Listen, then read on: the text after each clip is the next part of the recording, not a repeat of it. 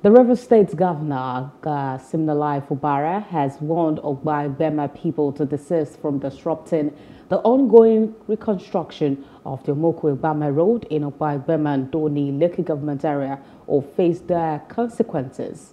Governor Fubara addressing monarchs, opinion leaders and other critical stakeholders from the area at the government house in Port Harcourt said it was offensive to receive threats of disruptions on the project from beneficiary communities when an initial contractor uh, their leaders recommended failed to deliver after collecting 12.7 billion naira.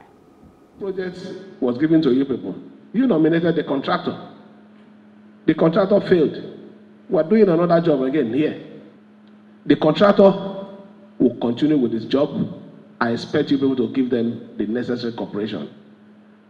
Are we trying to, are you, are you trying to be like the Andoni people that one simple section of project for 24 years could not be delivered? People are more than that. So I'm appealing to you, give the contractor the necessary support, cooperation, so that this section of that road will be completed while when the other one joins from Ahoada. And you have a stretch and clean road.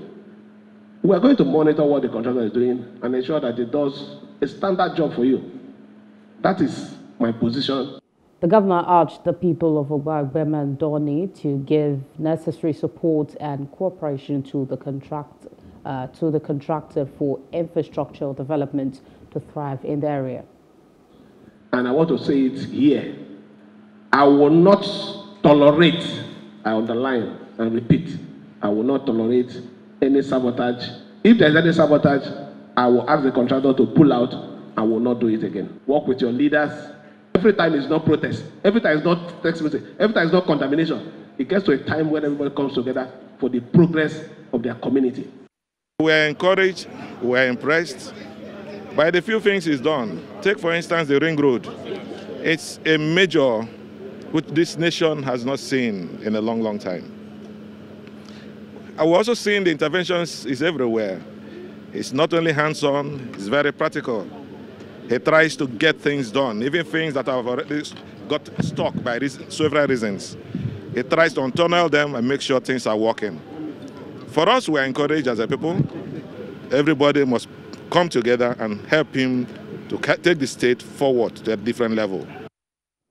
Hello. Hope you enjoyed the news. Please do subscribe to our YouTube channel and don't forget to hit the notification button so you get notified about fresh news updates.